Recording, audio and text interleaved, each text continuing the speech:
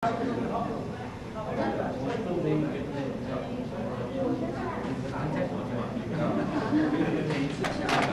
一点，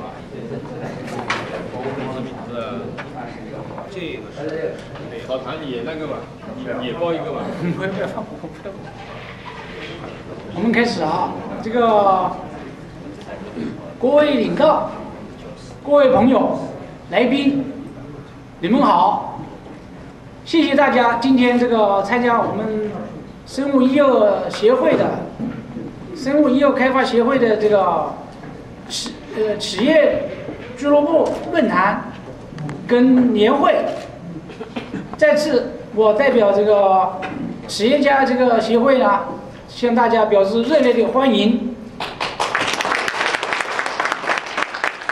今天来的嘉宾呢，有我们这个就是中国驻多伦多总领事馆领事史明浩领事，还有杨小军领事。这两位都是我们这个长期以来支持我们协会的这个啊，呃，热心这个领导。还有呢，我们陈实先生是上海人才中心主任。这里呢，今天呢有，主要还有从满地可来这个特地赶来的雷继余博士。高兴，今天是非常有幸，还有这个 ACGT 这个公司的老总陈海新先生，博士，欢迎。还有我们现在在就是我们协会的会长史新卫先生，还有呢其他这个媒体啊，多伦多在线、现代日报啊。广告信息报，还有其他一些这个媒体，我们就不一一这个列举了。非常这个高兴呢，就是今天能在这里呢，呃，欢迎大家，并且跟大家一起来这个抽象这个创业的经验啊，这个教训，希望大家能够在海外啊做出一番更大的事业出来。下面我请这个多伦多总领事馆总领事那个。领事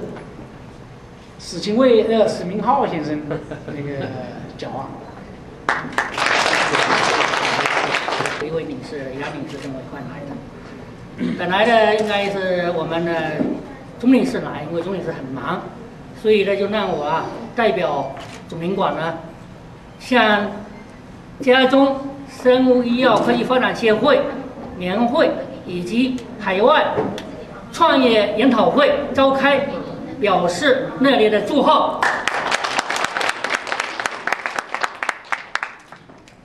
参加社团里面的活动，应该说也比较多的，也是你们，就是跟你们联系也比较多的。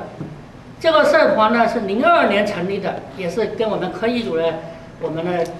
同事一块这个商量一块弄起来的。至今短短的四年时间。从开始的几十个人，发展到今天的有三百人的会员，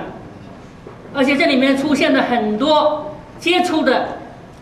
科学家、研究人员、企业家。这个今天呢，在海外创业研讨会里面呢，要给我们做一些重点的介绍的，都是这些这个精英人物，所以我们也很荣幸有机会能够参加这样的会，在这儿呢。这个我也愿意，也很希望能够我们的总领馆啊起一个桥梁的作用，帮我们的企业家、帮我们的科技人员，能够跟国内的合作搭起一个友谊的桥梁。这两天呢，我们呢正正在召开全国的科技外事工作会议，